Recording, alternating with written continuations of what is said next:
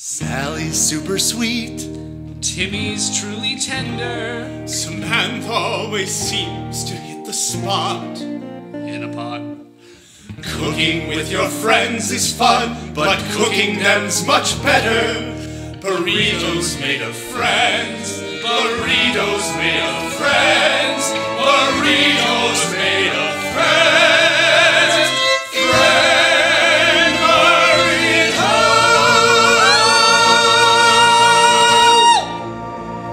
cannibalism.